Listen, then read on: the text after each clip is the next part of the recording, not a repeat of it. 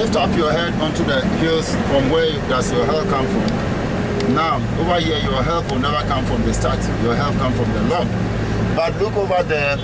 There is a, a statue there that someone has lifted something, holding it hard. It's just a replica. It's just a statue of the one, Komfo Anokye, the one who created the golden streets from the skies. This is just a statue. Brabu de Enko. Ah.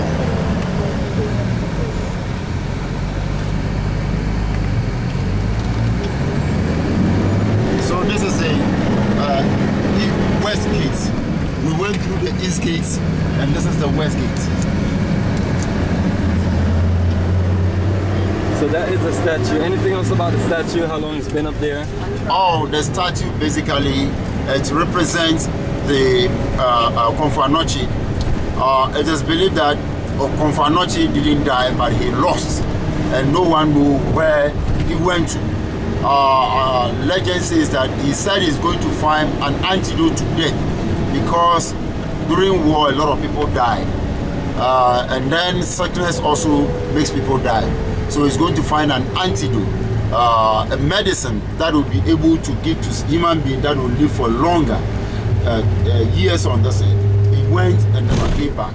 So no one knows where he went to. So he, Um, so he disappeared like the He magic. disappeared, did- exactly. that- that he just disappeared. Yeah. Uh, we are at the cultural center now. Cultural center. You mentioned about are right. Museum. I never been there, but uh, is it worth it to go in there? Yes, yes, it's worth it for you to. Uh, they will also tell you that uh, they, do, don't allow pictures and all those things. But whoever is there, if I talk to the person, the person agrees. That. Yeah, it'll be nice, uh, but um, but I understand that's how it is when you come to the when you come to Kumasi. You're limited of recording. To talk about administration. And you know, still, still, I still have a lot of people in Accra that have never been to Kumasi. I mean, uh, Africans in the diaspora.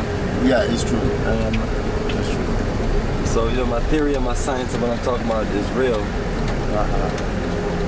Um, because they are not, they don't understand how cultural and Moko, moko, important mo isa yana. Kumasi is. Okay, so please, um, this is the cultural center, and over here there is a hustle-free place where you move from shops to shop.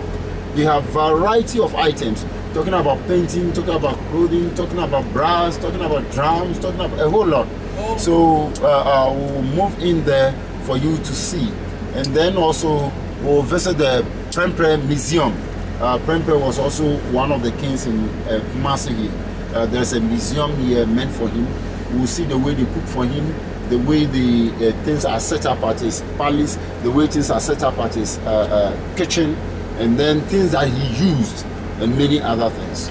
So we'll also go to Prempeh, the second museum. Yeah, it's probably best if we just go there first, and then Okay. give people a chance to shop around. Yeah. Then after that, we'll, we'll move to the shop. And then for so we'll those who the don't want to shop, they can just go hang out at Ike's Cafe uh, and, Ike's and, and, and relax for a little bit. Yeah, Ike's Cafe is just I- around the corner. Just here. It's just a walking distance.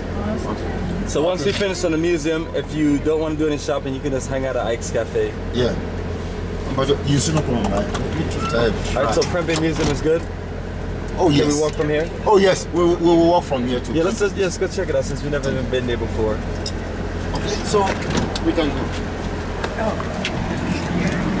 All right, so family, we're here in the Kota Center. This is one of the nice little administrative building. And one thing I love about Kumasi, from you see Adinkra symbols everywhere, which is this is the only part of the world that have these symbols that represent everything, right? There's nowhere else in the world, right? No other country, no other parts of Africa that has similar to Adinkra symbol. Do you know that for a fact? Yeah, the person will. Yeah, listen. So I've always tried to find out if other countries have similar symbols and meanings and things like that. You gonna say no recording? Everybody's no recording. No, no. Yeah, you have to do it here. It's like you do it. They say you shouldn't do it. I'm gonna make a video called the reason why people don't come to Kumasi is because no one wants you to record anything. As soon as I was over there, I started hearing people fussing about us recording. we have got to move Okay, into the are going 21st way. century. Let's I'm, go I'm being real. Just follow me. 21st century and 21st century is video documentation, pictures, sharing information. Yeah. So I should be receiving a check from Ministry of Tourism. And, yeah, that's what I should be receiving in all of the countries I've been to. We have documented everything and put the emphasis on the importance of why you should be here and what we're doing. Amir, Jinhana Kabi Ba no. Please come over.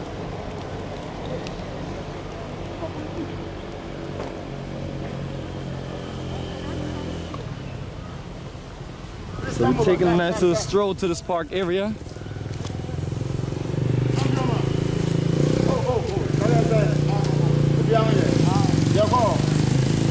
Yeah, but seriously, unfortunately, you have these issues with recording.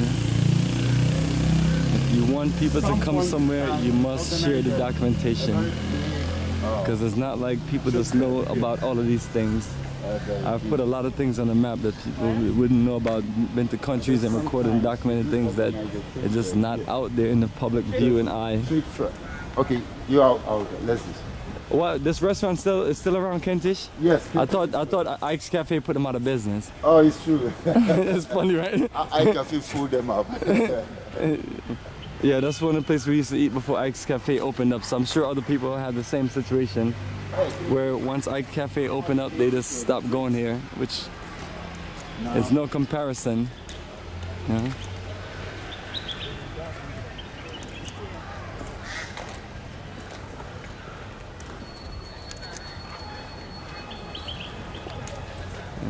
Beautiful palm trees. You know, that's one thing I love about being in Africa, and this nature comes to life.